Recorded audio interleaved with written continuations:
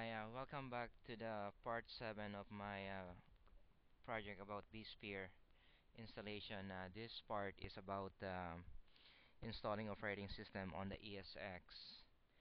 Usually once a company have all those ESX, the next part they need to do is to convert all this uh, oper uh, physical operating system to the uh, virtual machine and we usually do that with a converter. Uh, the converter enterprise can do that um, hot or or cold. Hot means it's running at the same time and cold it's shut down.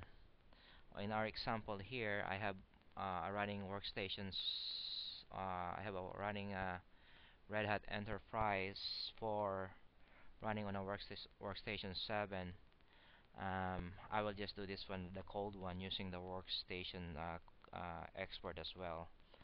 I'm just going to show you that it's running right now.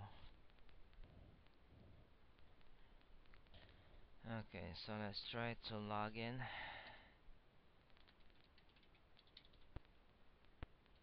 And see the partitions. And the so so it's uh, it's a running machine. Let's power it off and do a cold uh, conversion. Oops I realized that there's uh, two hard disks there. Um I need to um, to delete that first. And that will not be easy. Let me run it first again. I will do that on okay I found um, another Red Hat 4 and but this one is a 64 bit. So this one we don't need this one because it's uh, 16 gig and I don't want to play with 16 gig on uh, vMotion that will uh, vMotion forever. So this one I hope this will run. It has only uh, 512 memory one processor and 10 gig. I don't want complication. Okay good thing it's working. So let's power it up again and let's ready for the first thing we will do is to close this one because it's if this is open like this it's locked. We don't want to, to lock it so we will do uh, an export import export on the file menu.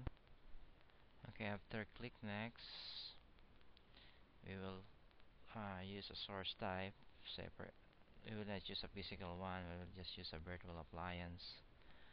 And the file system is here. It's over there. We click next. In here just uh, click next. Destination is of course an infrastructure.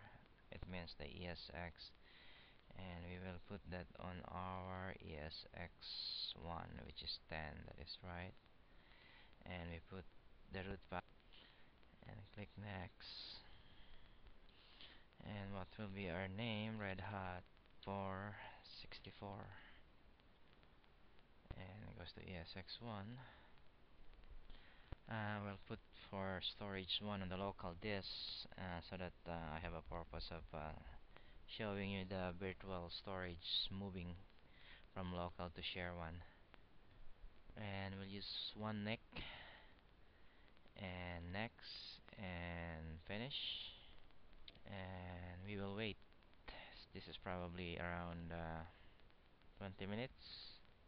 By the way on our vCenter as you can see um, this is the one that we're doing migration right now. And I have uh, how do you call this one? Um, Windows 2003 already there. I can see that this okay. It was sluggish the first time. Because probably it's just creating it. So this is the one you cannot power this one on because it's still not there. And but the uh, Windows 2003 you can see it's running. And if you see the console here it's running Windows 2005 I mean 2003 we don't need it. And while it's doing that uh, I already created another ESX for the purpose of uh, creating three clusters. So let's add that ESX again. It's esx3.vsphere.com and we need to use the root password. Yes. Next no license key. And we use Trudel. And finish. As you can see it's uh, checking it and adding it to the to the main uh, data center. And it's completed I don't, want we don't need all this additional blah blah blah. And this one too. And all these are identical to 1 and 2 it's 2 CPU 2 gig blah blah blah. Okay still uh, doing the conversion. By the way the next uh, part of this is probably uh, the vMotion creating a cluster about DRS and then high availability and um, fault tolerance will be included and some other things. So watch out for it. I'll pause it for now this is this will be slow. Okay it's done. We can click close on this one now. And let's see on our virtual virtual center data center if um, the AS4 will run. So let's fire this one now. Oops it really don't want to run. It says incompatible. Let me understand this one first okay this time I, was able to tweak it. Um, I will not show you that. I cannot repeat it okay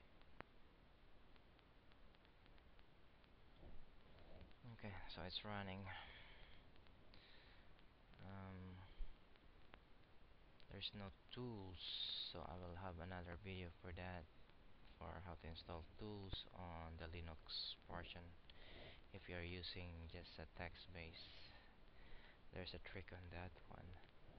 Okay um there's another option to um, of course install the operating system is by creating a new virtual machi machine. And say for example let's create another Windows 2000 say this is a S data server. DB server. Okay um, the trick is on this DVD settings you need to select client device client device meaning this one when we power on that one let's wait. And then when it's looking for the ISO we can click here and we can say that's that's the ISO and in here since it's looking for the network boot up you can escape and it will cancel the PXE and then say operating system not bound and then enter. And then we will select B as the we will only install standard. And da da da da da. It will be like that. You know how to install Windows probably. Uh, let's just stop that one.